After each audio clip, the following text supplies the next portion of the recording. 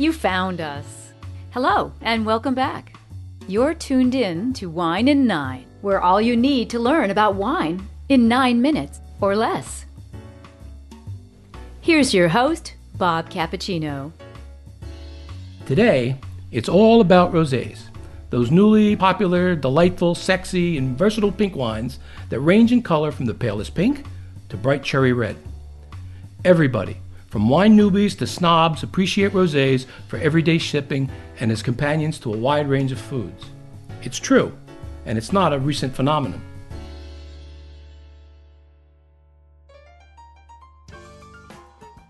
Forty years ago, dry rosés were very popular in the U.S.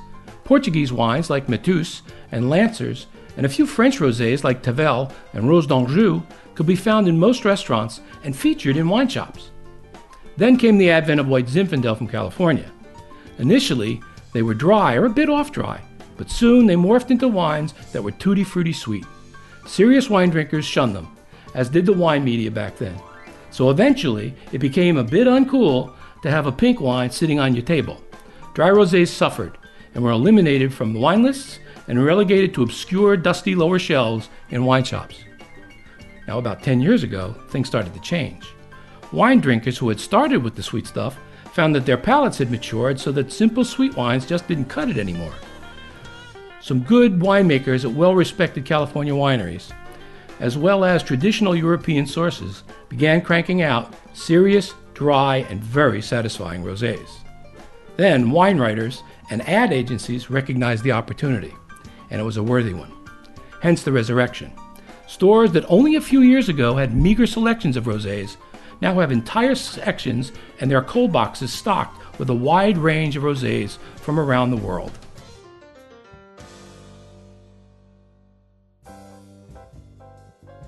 Now, a few common misconceptions about rosés. Number one, all rosé wines are sweet, insipid beverages. Nope, fake news. There is a wide array of splendid wines that run from delicate floral and dry to more complex, fruited, not so dry styles that are really, really good with all kinds of food or just for some totally enjoyable sipping. Number two, rose wines must be drunk within a year of their vintage dates. Not at all. Lighter styles, like those from Provence in France, where rose is the preferred wine to drink, are indeed best enjoyed young when their crisp acidity and flavors make them perfect partners to hot summer days and fresh seafood.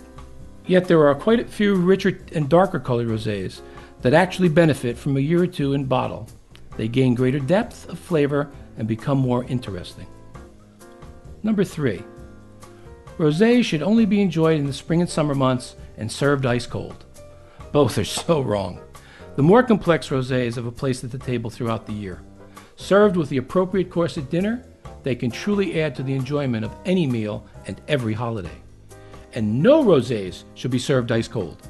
A heavy chill will mute the fruit and floral aromas and deaden the wine's presence in the mouth. As a rule, I put my rosés in the fridge for about 20 minutes or in a bucket of ice and water for about 10 before I serve them. You might prefer them a bit colder, so experiment and find your sweet spot. Number 4. Rosés are always inexpensive. Another emphatic no, not at all. In every category, there are cheap wines and not so cheap wines. Rosés are actually more difficult to make than most white wines. So you can expect that the better brands are going to be more expensive. If you stay in the $14.99 to $19.99 range, you will probably be very happy with your purchase. But be careful of those that are too inexpensive. If you have a favorite wine shop, trust your merchant to help you. As an aside, I would encourage you to select a wine that is from a country or a small region whose cuisine you are planning to enjoy. Please experiment. But remember that a wine should be looked at as a condiment that most cultures have fashioned for what they cook and eat. The word terroir, which really means the location that the wine grapes were grown in, has everything to do with the local foods also. The actual soil that grows the local grapes also grows the best food to enjoy the local wine with. This is hyper local at its best.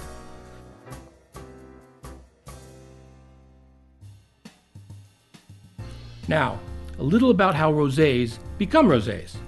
The juice of all grapes is white, with the exception of a small group of varieties that yield red juice. Wine gets its color by allowing the grape skins to remain in contact with the juice during the primary fermentation. White wines are separated from the skins before fermentation.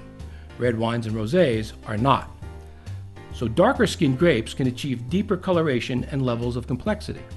A winemaker can determine the color, fruitiness, and flavor by selecting a particular grape or combination of varieties and monitoring the fermentation until his ideal style is reached. Blending a couple of different grapes are often also employed to assemble a wine with varied palate flavors. These styles usually age well. While you can make a rosé from any grape variety, there are certain ones that are generally vinified for the style sought. Lighter rosés are often made from Grenache from France and Spain, Pinot Noir, uh, which is ubiquitous around the world, Tempranillo from Spain, Sangiovese from Italy.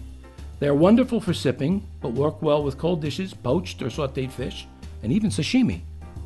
Medium body rosés are often the result of Gamay from France, Corvina from Italy, Nebbiolo, also from Italy, and Blaufränkisch from Austria. Try these wines with grilled whole sea bass or shrimp, pork and ham, and light pasta dishes. The more complex rosés are darker in color as they are the offspring of varieties like Cabernet Sauvignon, Zinfandel from California, Syrah, Merlot, or Nero d'Avola from Sicily. More akin to light red wines, this family of rosés marry best with grilled salmon, tuna, and swordfish, dishes that are spicy, and roasted chicken or duck. Rosés are made and enjoyed in every wine producing region of the world. It should come as no surprise that they are very popular wherever seafood is a big part of the local cuisine.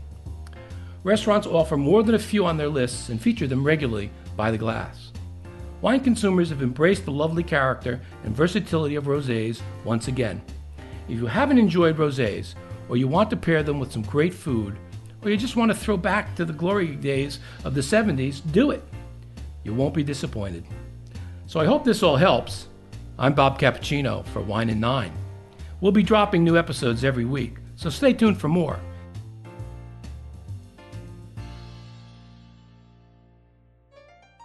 Thanks for listening to Wine in Nine.